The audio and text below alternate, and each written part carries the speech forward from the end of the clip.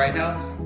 Today I'm going to show you how to connect a swamp cooler to a Nest and how to integrate that with Google Home. First we have the swamp cooler. Next you'll need a Wemo device. Go ahead and plug in your Wemo device the right way and then plug in your swamp cooler. Voila. Okay, first you'll want to download the Wemo app. Go to App Store here and download Wemo. Go ahead and open it up.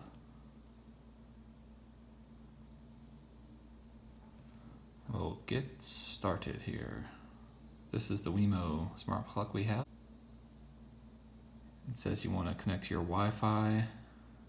So what we'll do is get out of here and go to settings and click on Wi-Fi here. Select the appropriate Wemo and you were connected there. Next we'll open the Wemo app. There it is.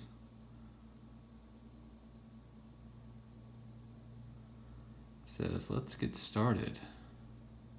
You always wanted to remember your Wi-Fi settings, click next, to your email address.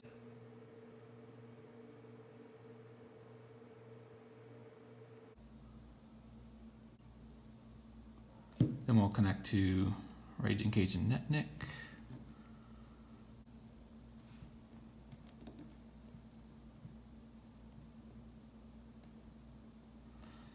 Now we're connected. You can turn it on and off manually here. Now we're connected. You can turn it on and off manually here. I want to change the name of this device. So I'll select to erase that and call it Swampy. That's the nickname I'm giving my swamp cooler. Save that. That's successfully named Swampy.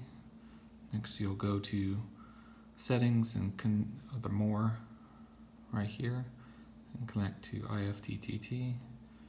Remote access required. Set up remote access, enable remote access.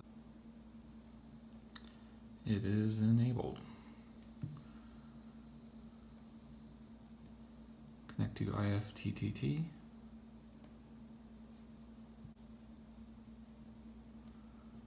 All right, so we're connected here. Next we want to go into the IFTTT app here and then click on the plus sign up here for creating an applet. What we're going to do is create two of them to set the temp to 70 degrees. What we'll do is create a new applet at nest thermostat. If the temperature drops below in the family room, 70 degrees. So if the temperature drops below 70 degrees Fahrenheit, the Wemo switch, we're going to set up now, will turn off. So we'll do a select Wemo here. Click on turn off. And which switch? We call it the Swampy. And we'll set that up. So now we have an applet for that.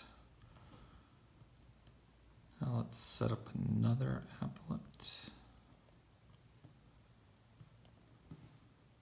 So we finish here. All done there. Good to go. Success. I'm gonna add another applet here. Say if this say nest, not mist.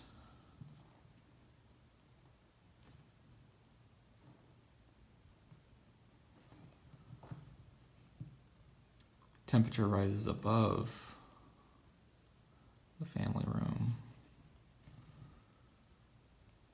70 degrees Fahrenheit. Then, is it the Wemo.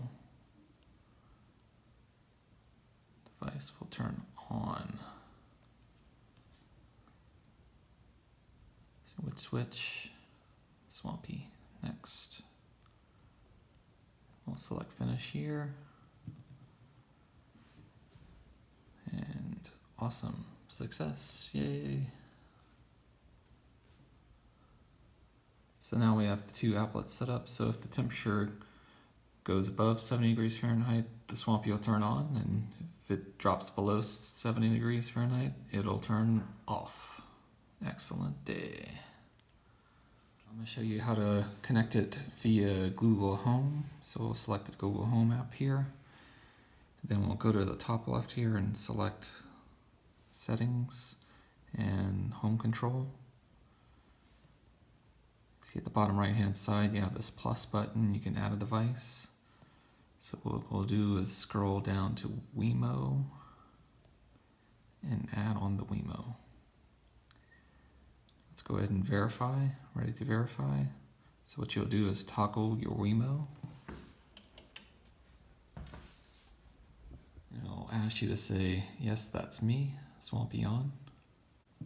Then what we'll do is assign a room. So we'll edit here on the right and click on family room. And now we're all done here in the family room. Now we can say our command and the swamp cooler will turn on. You can see it down here. It says Swampy Family Room. We have it added. Now let's go do the fun stuff. Okay, Google, turn the Swampy on. You got it. Turning on the Swampy.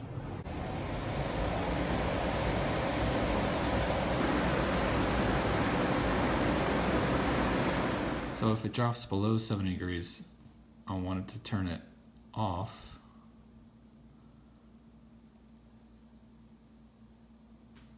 Which switch? I want to change the password. I want to change the name. Good dog.